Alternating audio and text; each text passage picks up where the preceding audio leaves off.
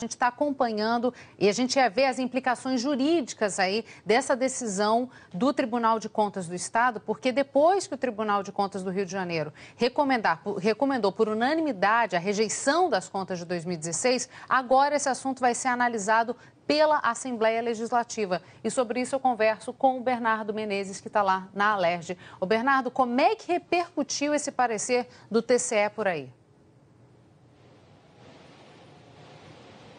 Cecília, boa tarde para você, boa tarde a todos. Tão logo a notícia da rejeição das contas do governo do estado saiu lá do Tribunal de Contas, a oposição aqui começou a se movimentar. A primeira reação veio da bancada do PSOL, que recorreu da decisão da mesa diretora de rejeitar os pedidos de impeachment contra o governador Luiz Fernando Pezão, uma decisão que havia sido tomada pelo presidente da Casa, deputado Jorge Pisani, na semana passada.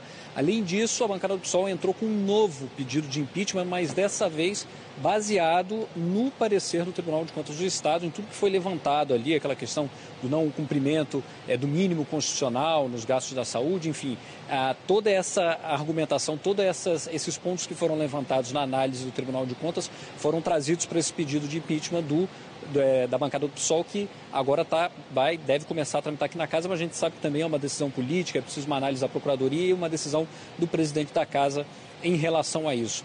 Ah, e agora, em relação aos prazos, o que, que acontece?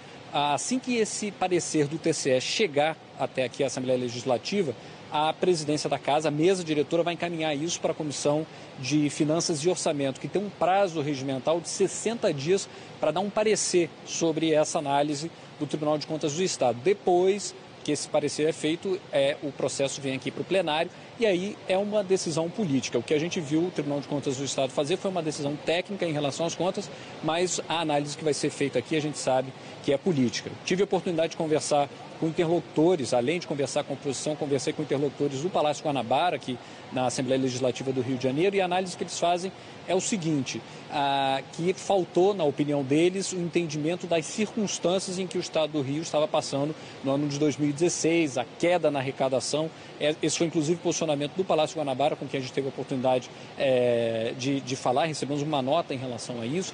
Enfim, ah, de qualquer maneira, já começou essa movimentação, a oposição entende que esse, essa análise do TCE é mais uma pressão em cima do governador, enfraquece a figura do, do governador, já a base entende que é preciso de, um, de uma discussão política aqui dentro da casa, inclusive para, se for o caso, reverter essa impressão. Mas vamos ouvir o que disseram é, oposição e base do governador.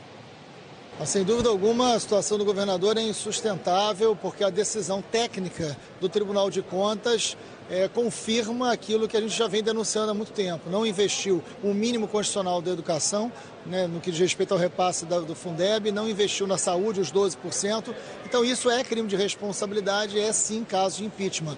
Importante dizer que as contas de 2015 não foram votadas ainda e a justificativa do estado de calamidade foi negada hoje pelo Tribunal de Contas. Então, evidentemente, agora, tecnicamente, além de politicamente, a condição do governador é insustentável. A bancada do pessoal está recorrendo à anulação do pedido de impeachment na mesa de diretor e está entrando com um novo pedido de impeachment, agora baseado na decisão do Tribunal de Contas, porque esse governo não se sustenta mais. Eu tenho certeza que vai haver o pedido de impeachment, mas tenho certeza também que a base não vai é, aceitar, por conta exatamente da dificuldade que o governador teve na gestão do Caixa no ano passado. Repito que foi um ano atípico, nós tivemos aqui dificuldades, sobretudo por conta dos arrestos que a Justiça permitiu, e dessa forma é, tivemos aqui essa dificuldade na gestão das contas de 2016. Acredito que o parlamento vai dar é, palavra final nesse ponto, aprovando as contas do governador e rejeitando aqui qualquer pedido de impeachment.